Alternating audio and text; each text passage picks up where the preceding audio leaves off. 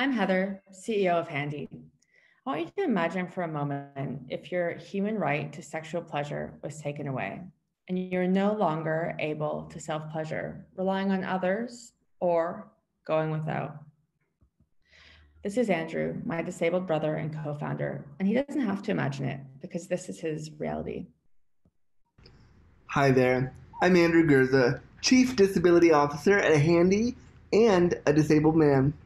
Due to the way my hands work, as a result of disability, I've lost the ability to self pleasure. This has been a huge loss for me. It feels like I lost a sense of my manhood and my masculinity, and to be honest, that sucks. Unfortunately, none of the current sex toys on the market have considered the needs of people with hand limitations, which leaves us frustrated and unable to tap into a core part of our humanity.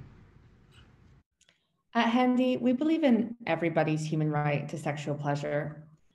And that's why we're creating the first line of sex toys that don't rely on the use of your hands. Introducing the Handi Joystick. We've worked with sexual health and design experts, occupational therapists, and the disabled community to bring this to life. And there are so many reasons we love this design. First, it transfers the reliance from fine motor skills in hands to gross motor skills. It's flexible for different body types, abilities, and positions. It's snuggly for intimacy and comfort.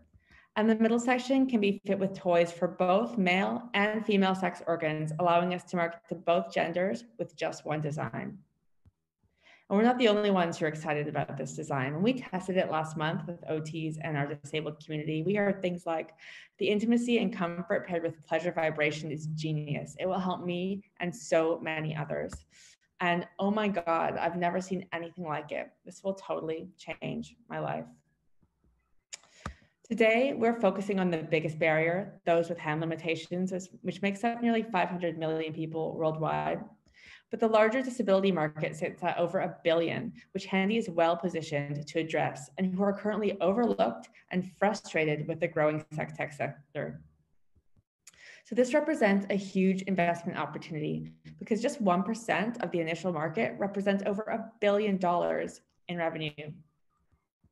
And we've been busy making waves since our launch a year ago. We've got a community of over 5,000 disabled and clinical supporters. We've had over 700 registers of interest for the joystick. We've received a finalist position in the Assistive Tech Product of the Year in Australia. We have a manufacturing and distribution partnership with Lovehoney, one of the world's largest adult retailers and manufacturers globally. So if you want to help millions of people like Andrew and be on the ground floor of an untapped opportunity, we've recently opened a fundraising round. Please get in touch. We'd love to chat more. Thank you.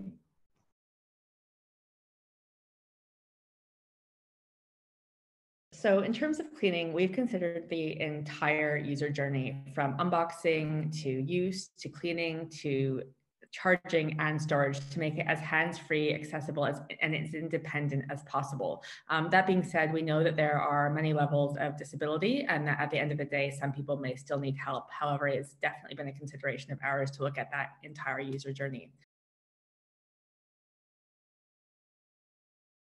Um, and yes, we've definitely tested it and happy to report that it works. Um, the design team, myself, occupational therapists, and 10 disabled people across Australia recently tested the prototypes that we created. And all of those amazing learnings have been fed back into the design process to strengthen the design of the Handi joystick.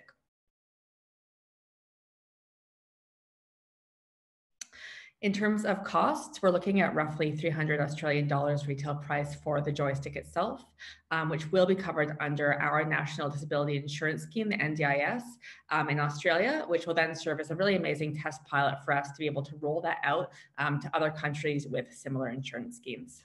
And that just means that the end cost isn't passed on to the end user. Thank you.